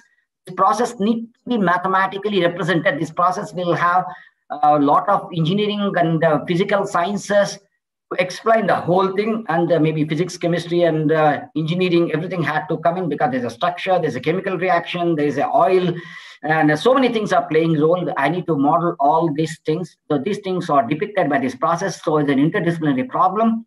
I need to understand the process. So several people along with mathematicians play a role. I come up with mathematical model because to understand this process, I cannot keep on building these kind of structures uh, which cost billions of dollars, but I can mathematically model it and compute out these models on uh, fast computers like supercomputers or parallel computers, come up with some solutions and uh, analyze the models and see whether what I'm predicting here is correct. This is a pipeline. I have a process, I will convert into a model and compute out and convert the results, visualize the results and go back and see whether the desired things are happening. If not, refine the process, understand the process, make the model more realistic and go back till you get the desired results. You keep refining the models. There is a challenge because you cannot, um, modeling itself is a challenge. Solving is a challenge. Visualizing is a challenge. And then going back and refining. That's the pipeline. That's this whole thing is a simulation pipeline. So mathematics is very much integral part of this whole pipeline. I wanted to show that there are other branches. It's an interdisciplinary topic. So mathematics, both pure and applied, becomes an integral part of this whole pipeline. So the people who are uh, integral part of mathematics should be very proud that they are that part of this and they should explore. They should join hands and shake hands with others to become a serious part of this pipeline. Then we will be able to really contribute to the uh, state of our problems. Now, let's look at some state of art, uh, some more state of art problems. Uh, let me straight away get into this. This is what is the problem what I was talking right in the beginning. I was breaking heart or the symmetry problem, um, spiral waves and breaking heart. What you are seeing here is actually the animation is not working here. Actually, there's a beating heart. I had an animation of a beating heart. Sometimes cardiac arrhythmia, what it does is uh, the expansion and the contraction of the heart is responsible for pumping of the blood and circulation of the blood right? Sometimes if it doesn't happen in a synchronized way or if it collapses, uh, why it collapses, the, what is really responsible for expansion and contraction in a very simple in very simple language, in a non-medical language, there are some electrical signal propagations which is taking called, called as cardiac electric currents, which whose voltage variations are responsible for excitation and also for uh, uh, compression and ex expansion of the heart. If there is any anomaly in terms of uh, the various salts that we take, calcium, potassium ions, there's an imbalance in that, then the, various ions which are responsible for expansion and contraction uh, will actually, the imbalance in that will lead to a synchronous expansion or contraction or localized contraction or a state in which whole thing remains uh, in a contracted shape and not expanding for a long time or continuously in an expanded shape or locally some portion is continuously getting contracted and expanding irrespective of the rhythm in which it should take place that is that leads to uh, the spiral waves. Spiral wave generation is a localized anomaly that can create that can be caused and that can lead to the failure of the heart so the other problem is uh, blockage. We all know that the coronary arteries get blocked and it can lead to heart attacks. We know that. What is that? Uh, I have a flow. Normally, if there is a traffic jam, we know that there's a, people cannot move. Similarly, there can be that this is the blood vessel in which the whole uh, blood flow is taking place. Then it can get jammed here. There can be an occlusion. We all know in a very simple language is a blockage. His uh, arteries are blocked. The arteries are blocked, bypass surgery is done. What is a bypass surgery? Suppose a block here, I want to bypass. Just to take a bypass, if there's a traffic jam, I take a bypass road. If there's a artery jam, the occlusion, what doctors do is they cut open the heart and cut this artery and put a bypass. That's a bypass surgery in a very simple language. That's what it is. And there are a lot of challenges with this bypass. I'll show you some animation, subsequent, uh, some snapshot and uh, subsequently what this bypass surgery and how mathematics helps in dealing virtually doing bypass surgery before actual bypass is done. I'll show you that. Uh, now, I've already commented on this. This is the cardiac electric activity. I think I commented. If you want to model this cardiac electric activity, there are the PD-ODE models. In fact, uh, we at IIT Kanpur have come up with some models for uh, uh, models for uh, dealing with the cardiac electric activity and the uh, circulation in the human circulation and linked it with it. And I will not, I do not have time. I think I'm running short of time. So I'll get into this. So I wanted to talk a little more about this. Uh, when you have a heart, when you want to digitally represent it, you cannot represent this continuous structure on a computer. So what we represent is only a digitized version. So there are infinitely many points in this uh, little portion heart. We have some millions of points of on this are taken, but that's finite. So I, this is called as a mesh generation. I represent my heart in this fashion. So I track the problem. This set of vertices of these uh, tetrahedrons. Tetrahedron is a typical two-dimensional structure, which I think I cannot show it to you right away, but just see that there's a web-like structure here. I call that as a mesh and the intersections of this web, these are the points that the solution will be calculated. The partial differential equation will be solved at these points. And firstly, these equations will be modeling the expansion and contraction of the heart and the cardiac electric activity that takes place. And uh, we will represent the whole heart on the computer using this set of uh, points, which we called as the mesh points, at which these equations are solved. I will show you a snapshot very quickly. So that's the problem about uh, bypass surgery. What we can do mathematically, I'll quickly show it. So I have an artery where the flow is taking place. There is an occlusion or blockage slowly developing, and it can find when it's completely blocked, it will lead to the heart attack.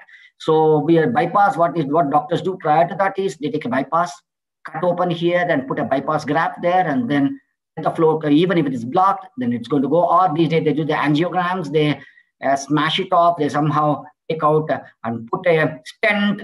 A different treatment bypass is one treatment. At some stage, they take this, uh, uh, they put the stents or several treatments are there. We will we will be able to analyze all those things virtually on uh, using mathematics. In fact, why do we need mathematics to do this analysis?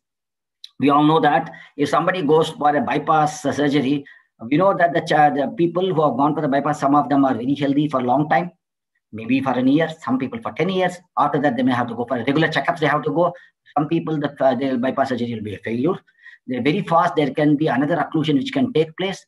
Occlusion can take place for various reasons. The angle of bypass, the material that has been used for it, and the distances which has that which this bypass has to be taken. This has to be analyzed from person to person to make sure that uh, the bypass surgery is going to be uh, successful. At least uh, you can uh, do a lot of virtual surgeries on the computer, and the expert can decide based on the input that he gets what should be the kind of uh, uh, decision that you should take. But that's why we all go for the experts. But there are, but persons can, several, all the doctors can train themselves virtually like astronauts train in a simulated world on the earth before they actually go into the space doctors can have a virtual surgical environment and do a lot of surgeries and come up with the aftermath effect of such a kind of a surgery and decide whether it's going to be good or not and decide with an expert. Of course they will not believe whatever you show. They will only go for medical experts finally. But prior to that they can uh, get a lot of information which can be validated with a lot of uh, realistic data. How do we go about doing this kind of a thing? So you mathematically model the flow, mathematically model the vessel walls, mathematically model the bifurcation, mathematically model this occlusion process that can be done through this. For example, the governing equation that you see here is a simple mathematical model in terms of partial differential equation, which are called the Navier-Stokes equations. Uh, it is a very, very simple model. It's a set of partial differential equations, uh, which is modeling the blood flow. I will not get into the details of it. Then we need to close this model. We know for solving a differential equation, we need to have appropriate initial and boundary conditions. So we complete that equations by uh, appropriate boundary conditions or an initial condition need to be defined. I will not get into the details again. And uh, this is an academic boundary condition. Uh, but one would like to have a patient-specific boundary condition. So you take the flow data directly from the patient, right? And you replace this academic data from this patient specific data. So you will be able to solve this equation uh, with patient specific boundary data. Then that will become a little more realistic for the patient specific data. So now what mathematicians have got to do in this, firstly defining this equation along with physicists and uh, they have to come up with physical phenomena to be mathematically modeled. After having mathematically modeled, so what is the guarantee that this mathematical model is correct? It's going to give the correct solution. So there are mathematical analysis can be carried out on this we take the whole problem into a mathematical framework I will not get into the details again here. So this is called as a, a function, a functional analytical framework. We take the whole problem into the functional analytic framework. I will just skip these things. I want to only uh, the analysis, final step of the analysis and highlight this one result. So what it actually says is I have the, the, the analysis that we learn in our colleges helps us in coming up with these results. What is, essentially this result is saying is, if I give a certain amount of energy to the system initially, uh, in terms of that energy is measured in terms of the uh, function energy and the derivative energy, that at throughout, uh, if I were to modify, to find the solution for these uh, functions through my modeling equations at any point of time, that is the energy that has been given to the system that sorry initial energy is this the energy at any point of the system is this. The energy at any point of the system is never going to go beyond the given energy. So what it says it only says that if i'm going to use this set of equations which i have shown here before are these equations correct set of equations? Are they realistic? If i give are my boundary conditions correct? So my initial data the initial energy is initial is specified in terms of initial velocities and uh, initial data that I give and initial loading functions. That's the initial energy I give to the system. And if I give an energy to the system, that energy should be there. I cannot have additional energy coming to the picture. The energy can be going into different forms, but it cannot go into a blow-up situation. If my model is correct, then it should not lead to a blow-up situation. That's what essentially this all this mathematically we predicted and we guarantee that mathematically. Yes my model is correct because the, uh, whatever model predicts the solution that i get finally which i can now measure the energies. The final energy which is shown here is bound by the energy that is given to the system. At any point of time is going to be that. So that says that my model is a robust model mathematically correct. It's uh, therefore if i were to use this model for predicting a physical phenomena i'm not making a mistake so that validation is very, very important. If you don't do this, there are several instances where physical phenomena has been modeled by mathematical equations and they completely went wrong. So in fact, uh, I, if I had time, I could have shown you that oil ridge, which I shown you as a picture there, that was a very good example where it violated this kind of a scenario and was a collapse. And if you were to look at uh, 1990, 1980s scenario in Norway oil ridge collapse, uh, you will get to know the, defects in science engineering how it went undetected how mathematicians became responsible one of the very responsible set of people to identifying and fixing those defects. So i wanted to only highlight the analysis that we learn in our classrooms. It's an integral part of science and technology current to, the, uh, to date. So let me there are some other equation. How do you actually solve this? I, I do not have time. Um, now it's one o'clock. So uh, I should, I want to ask the organizers if I can take another five minutes. Five to 10 minutes, is it okay? Yes, sir. Yes, okay. sir. So I think I will skip this. If you actually have a mathematical problem, how do you actually solve this? You need to digitize these problems. So uh, the, digitizing these problems means uh, this, uh, dealing with numerical analysis, coming, with, uh, coming up with a discrete version of the given problem. What you have seen the problem there, Navier-Stokes equations, a continuous version, that means I'm describing a variable which is continuous. So I reduce that using numerical methods like finite volume method, finite element method. I reduce into algebraic equation Ax equal to B. What you see here is uh, an equation uh, written out in the algebraic form. There are differential operators. If I discretize this also, I get an equation Ax equal to B and I solve it. Essentially, if I have a real phenomena, a phenomena is reduced in the form, represented in form of differential equations. These differential equations will be converted through the numerical methods as algebraic equations. I solve these algebraic equations in the computer, I get my solution. So that's what exactly happens there. And this is a depiction. Really what you're seeing here is a matrix. A matrix is written out in this fashion. I don't have time to explain. That is something like A. This is something like X. This is something like F. So this A x equal to b that's the equation that i have here. And uh, if i solve if i have a model like a, a bypass surgery uh, let me not go back no time there. So i had shown you why bypass surgeries are is being virtually done how it is being done. Example in this instance let's say there's a block here.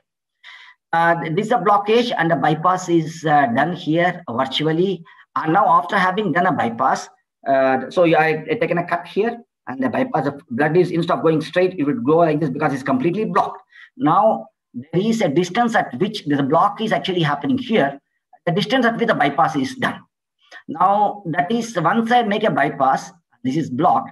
Flow is no more going in a natural way. There is a variation uh, because the bypass that we have created, the doctors have created uh, the surgical setup. So the blood is taking this new bypass route. Now, this bypass route, what is the complexity that our physiology, that blood flow is going to encounter? Physiological system will have it, or the flow, hemodynamics is going to get altered. How is it going to alter?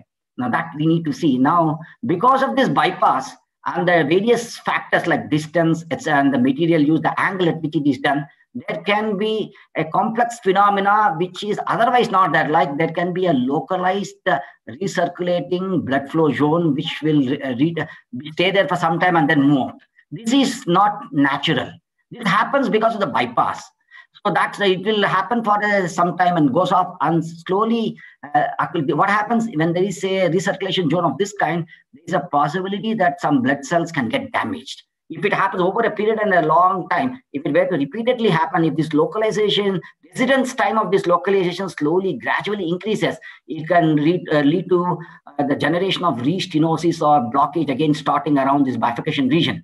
And slowly that has happened because of, and this is the scenario. What we are seeing here is that this is an undesired non-physiological feature which has happened because of this bypass which has come up reasons could be various. The distance could be a factor. The angle at which the bypass has been there has been a factor, or the material that has been used, uh, the fluid structure interaction may be responsible. In this case, the angle which has been responsible. There's a flow and the localized flow.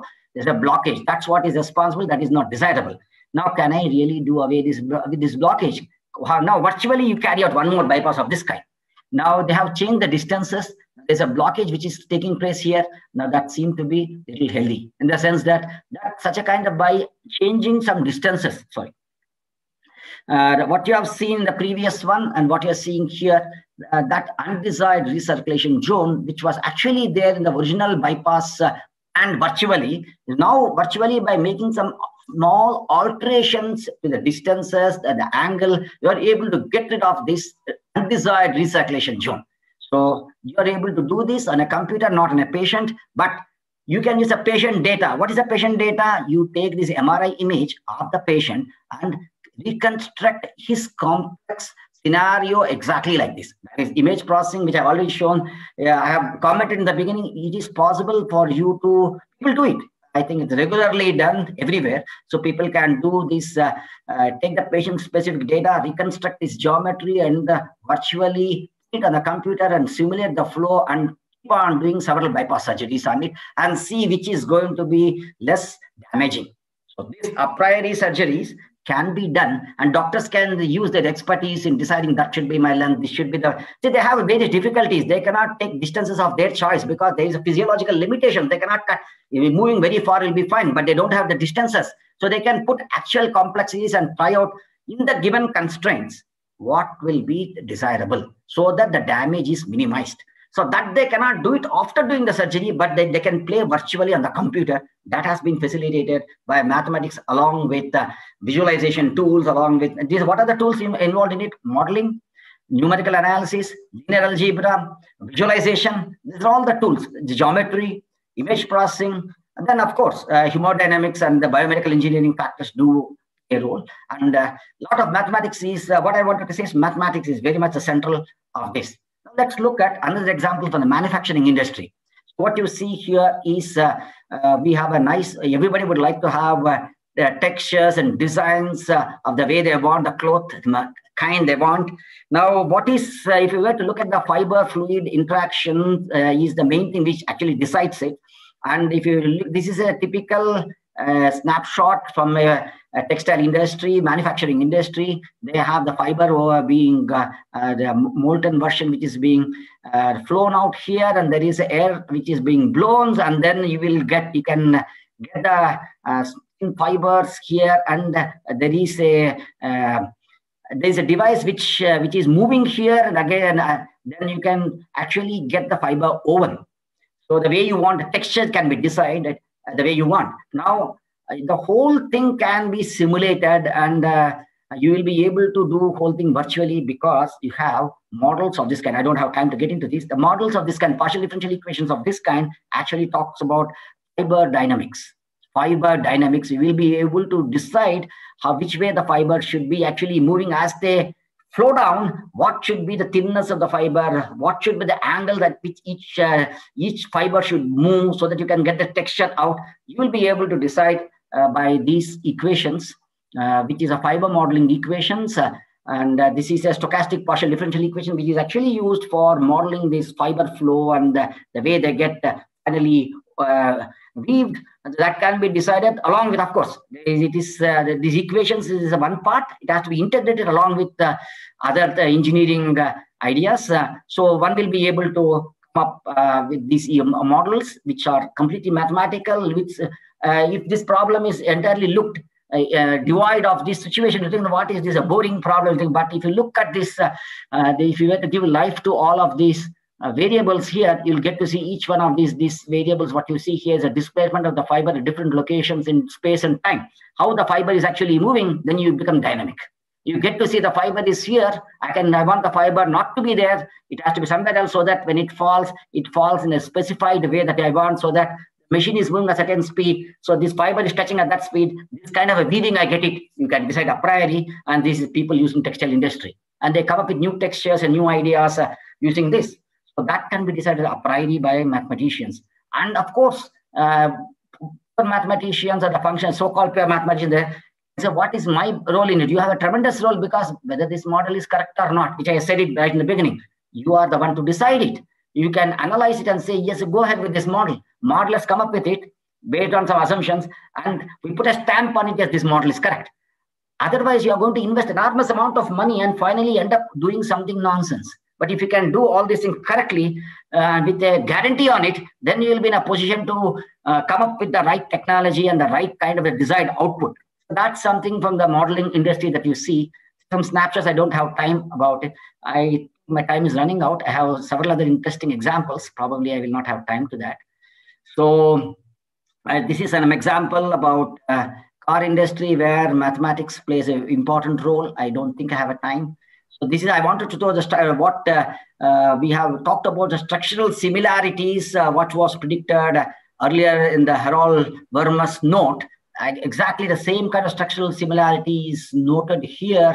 Uh, the, when actually a metro station in Norway was flooded, uh, sorry, Netherlands was flooded, and the moving of the oil in the oil field, that was similar to a metro station flooded, getting flooded. They had same equations to track this and also track this. That's the similar, the theory that I developed, the understanding that I had in the oil context, entirely different context, they applied it for handling the problem of metro flooding. And they were able to tackle it. That's a fantastic thing. Only thing one should come out of it and see the generality of it and you'll be able to apply it in several situations that's a conceptual generalization that was initially beauty of the mathematics was initially mentioned the structural similarity has a power of modeling several things which are structurally similar. This is a, a snapshot of 1997 example to highlight that point. I don't think i have a time for that. This is to deal with uh, tsunamis rogue waves. As we all know that this KdV equations is used in handling the speed with which it is going to move, one will be able to predict it, how fast it is going to move, and uh, one will be able to track it. The KdV equations is one of the uh, important things which people use uh, in uh, tsunami analysis along with various other things. So this KdV equations is an important mathematical uh, tool. So I don't have time for that. I think I should wind it up. So uh, radiation diffusion equations, I don't think I have time. I think I should actually wanted to show you how this is a mathematical equation is uh, solved. Uh, there's a modeling and how these equations are solved. I actually wanted to show. I think uh, I should. I already passed my extra time also. Let me see if I have something something different. This is a way of solving the problem. Let me give you one final snapshot. How do we actually go about solving complex real life problems? Like I have mentioned about ignition chamber, bottle, or so I have ignition chamber, which is represented uh, in a discrete fashion in this way. And we are going to solve. So uh, you, you see a mesh-like structure. The continuous frame is divided into small mesh-like structure. And at uh, intersection of all these mesh-like structure, these uh, intersection points, at these points, I will have my partial differential, my differential equations are a mathematical model represented, which is representing a complete continuous model. I will reduce into some uh, point-wise models and solve them. That's what essentially done through what is known as a, a mathematical numerical analytical tool called as finite element method. I think tomorrow Professor Rajshekhar may be giving you more highlights uh, on this kind of tools. I think I will skip at this. I will not have time. So I only wanted to highlight and stop with this experiment because I had mentioned about this experiment. You had seen this uh, picture when I was uh, when I started my discussion on simulation. This is the actually uh, Sleipner A platform, Sleipner A platform, which is used uh, in the Norway uh, for extracting the oil. It's a huge structure, lots of engineering, it's a big engineering structure. It is on the seabed. So what you see here is from the uh, sea floor, lot of uh, big pillars have come up and uh, it is supporting this whole structure to rest on it. And uh, these are called as a, this is called as a Condeep uh, platform about 82 meters. Uh, and there's some details on it and the whole thing collapsed. So if you actually ask the Google on a Sleipner platform accident, you will get to see the whole scenario. Now, when it collapsed, there's a huge amount of um, loss more than anything human loss. Tremendous amount of human loss was there. And uh, uh, so much of uh, manpower human loss money so much was lost and but did the people do a mistake in doing it enormous amount of caution was taken a lot of engineering efforts were put in in coming up with this structure and uh, when they wanted to the finally what what happened is these uh, uh, platform the some of the pillars of this platform cracked. so that was the reason that the whole thing collapsed. Uh, so why actually did it have to crack? So the, the, they had done a lot of engineering analysis for erecting this. They don't go about doing it straight away. They did a lot of analysis, but there was a flaw. That flaw went unnoticed. And who detected it? It is uh, Professor Babuška. He's a Polish mathematician who is very well known now. He's in US. Uh, so he's the one who detected it. And he, what he did is when a lot of the people were called for aftermath analysis, uh, Professor Babuška was also called because he's well-known mathematician who has got a very applied brain. So he was called, can you say something about it? Do you need some money to do this analysis so that we don't want to get into the hazards? Professor Babuška said, I want a pen and a paper. He did not ask for anything and he wanted some details about the whole model and he went and sat in his uh, hotel room and he was working uh, on that model looking at the he was probably was given a, room which was facing the sea he was looking at the sea where the uh, whole thing collapsed and probably was uh, uh, feeling sad for the whole thing and he was next day he comes up and see in your model you should have taken this kind of a caution. Did you do this? So what he Professor Babuška actually says is uh, there, there, will be a Professor Babuška's predicted as per your analysis, uh, uh, whatever data you have given, my mathematical theory says that there should be, uh, at the depth of 65 meters, there should be a failure. Uh, sorry, at the depth of 62 meters, there should be a failure, but actual occurrences happen at 65 meters. But he did say that at the depth of 62 meters, there will be a failure. And he went on to show his mathematical theory and analysis how this is going to be a failure. So I will end with this uh, example saying that the Sleipner accident could have been avoided if mathematicians were involved in it. So uh, the, my final message or the final thought is just it, the theory, computation, and application, and maybe these days data. It's one capsule. So mathematics is integral part of uh, the current science and technological growth. It is very much at the, uh, very much in the beginning, very much in the middle, very much in the frontier. It's everywhere. So mathematicians should be uh, very feel very proud and they should read their subjects with passion so that they really become the integral part of uh, uh, this uh, scientific and technological development so i think i don't have time for the movie and other things um, sorry i think i have to stop here i have already taken minutes more so i stop it at this, at this stage thank you very much for this uh, opportunity yeah thank you very much sir this is mahalakshmi uh, Yes, madam. Yes. Sir, Sorry, I, I, to, I, went over time. Uh, no problem, sir. No problem, sir. Uh, sir, we have been very fortunate to have you here. I thank you, Deshmukh sir, for bringing you here.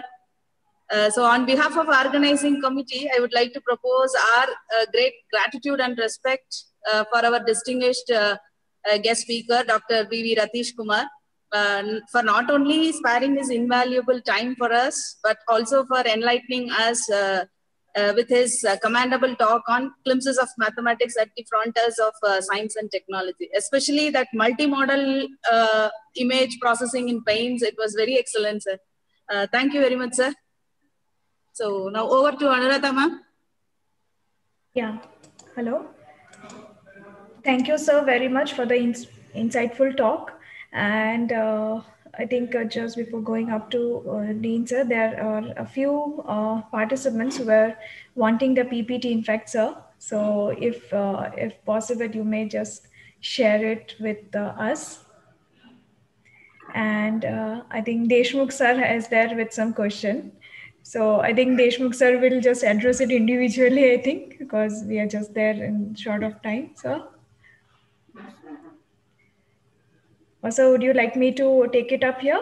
Yes, I think uh, as as per your uh, protocol, I will be happy to. So I am extremely thankful to Professor Deshmukh and uh, to uh, Dayanand Sagar University for uh, giving me this opportunity to interact with you. I'll be happy to take the questions. Okay. Rathish, I, I must congratulate you for a talk. It was absolutely amazing. The scope of your talk, uh, it can come only from an expert. Um, uh, we, we all know that you are an expert in applications of partial differential equations in a large number of areas. Uh, you, you showed uh, some results from uh, denoising, from image processing, and so on. Very fascinating work.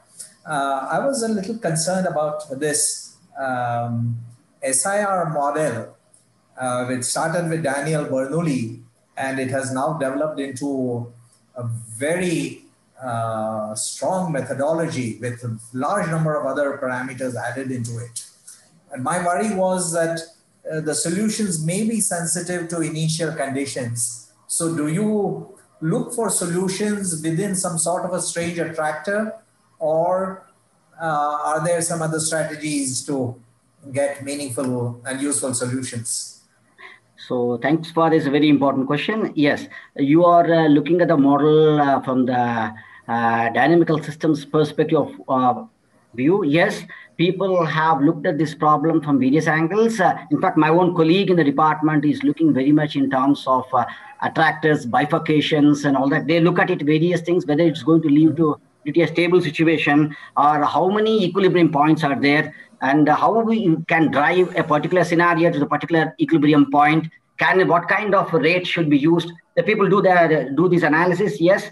Uh, in the current scenario of this particular model which i have shown i'm not sure people have carried out uh, this uh, dynamical system analysis in terms of what attractors and mm-hmm. or what repellers are there. But in general for this scenario a lot of things have been done. If you are in a one equilibrium situation where exactly in a given from a given initial condition to which attractor you're going to move to. Or uh, mm-hmm. one can one will be able to do that and that uh, leads to dynamical system analysis uh, and it's very much possible sir. Very fascinating. That's, thank you very much. Anuradha? Yes sir. Uh, sir ravi sir i have a question. Hello? Yes madam. Yes yeah. yes yeah, yes sir. So uh, as you have been studying with the covid modeling so now since the vaccine is out uh, how effective will the vaccine be on a strain 2 or will it be giving us again another strain of uh, covid or anything like that so uh, so the model which I have shown, as, I, as I've uh, shown you, I showed you some rates, and I've shown you this all depends on the data, how realistic the data is. So whatever has been there, the data that we use is the data that is available on the you know, certified data. It may have the limitation. The collection, they just got so many limitations on the collection of the data and the way they have been filtered to put it up. That based on that, I can say uh, that the various prediction that has been qualitatively they were quite close that's what is the analysis that uh, have shown but uh, for the problem that you are uh, currently asking what will happen if the vaccination i have not analyzed that with this data where it is going to lead to but uh, the scenarios that uh, exists from the others analysis, I see that this, this vaccination, they believe that it's going to lead to uh, a kind of situation where the whole thing is going to die down in about uh, uh, five, six months. That in the scenario uh, set up, this was done especially in a France scenario where people have Professor Ivo Made, uh, very uh, was talking using the same modified SIR model and vaccination as a protocol that's being used. and he says that in six months' time it should be fine for his scenario. He said very careful in saying that for the data that is available in France, for the complexities of France, yes, if you do this vaccination, it's going to control in France. So that's all he can say. One, so we get a trend which is highly localized. And if you want to get for Indian scenario, I have not done it, but it is possible to do it uh, to so I do not want to say yes, it is controllable. We'll get in this time. Maybe I have really not done it. I'm also not an expert in that area to say a priori without having done. I can predict it, but it's a very it's a question which can be answered. Uh, there is a way out to answer it. That's all I can say. There is a way out, and I have shown you the way out. I have not carried out the analysis, but people have carried out analysis in uh, different contexts. Rathish, the unreasonable effectiveness of mathematics that you mentioned seems very reasonable as a matter of fact. uh, only, only that I was wondering if it was uh, Norbert Wiener or Eugene Wigner who said that. Uh, if I recall, I don't know. Maybe uh, there, maybe you can uh, you, you, can correct me if I'm wrong. you can correct I, me if I'm believe, wrong. I believe it was Eugene Wigner. Okay. He has a wonderful paper on this. Uh, maybe, uh, maybe yeah. it's okay. Maybe. yeah yeah, but very, very interesting. Very indeed. Uh, Thank you. Great talk. Thank you. Thank you. Yeah, Srinivas. I would like uh, to now uh, ask our Dean sir, Dr. Srinivas sir, to propose the vote. Uh, the whole nation is celebrating uh, National Mathematics Day to mark the, you know, the birthday of uh, uh, the greatest of the mathematicians, Ramanujan. it's very befitting for the occasion to have Professor uh, Rathish Kumar of IIT Kanpur. Whenever you see IIT professors, you will see a difference. You know, this is what I tell all my students. You know, please attend those lectures. I think the the rigor that the, the math is going to have is can be seen only by IIT IISc professors. You know, we are extremely grateful to uh, Professor Rathish Kumar sir uh, for having uh, you know accepted our invitation. Uh, the wonderful uh, complex mathematical models that he showed, the corona modeling for prediction of diseases and so on. So uh, we, we also have seen, uh, uh, you know, in defense, for example, LCA design, uh, where I was a part of it, the, the flight simulations, lot of flight simulations that you see, the aircraft going up in, you know, Mach number of two, three, and so on, it has a lot of math models behind it and uh, the importance of data visualization you know where there is so much math behind it it was very beautifully stressed upon. And uh, also recently we had a uh, you know lecture one of the IIT professors where during a shootout for example in a theater if a shootout happens how the crowd builds up and where exactly the the crowd is going to move what is the crowd psychology. This is all i think extensive uh, mathematical ex extensive mathematical models are used. And uh, I think, sir, uh, we are, I, I only wish all our students and teachers had attended your lecture because I think the math is normally treated as a set of equations, but uh, the power of math you have already, you have brought out in such a nice, uh, beautiful way. We are extremely grateful to you. And uh, we would like to have your uh, presence in some way or the other, even if it's virtual, to motivate our students Thank you so much, sir. It's a great occasion today for us. So thank you very much once again to Professor Deshmukh and to Professor Srinivas and uh, all the colleagues there at uh, uh, Dayanand Sagar University. Thank you very much. Thank you, I'll just take uh, two minutes maybe in thanking all the uh, uh, management and everyone who were there as a part supporting us always encouraging us to be here. So at the very outset, maybe I'll just thank Rathish Kumar sir for being there with us all the time and just encouraging us with this uh, talk. I think we uh, you have given much food for thought for us teachers and all the students who have been attending this. I would like to thank the uh, DSU management. Uh, I'd like to thank our Shri, uh, Murthy sir, VC Murthy sir, for encouraging us always.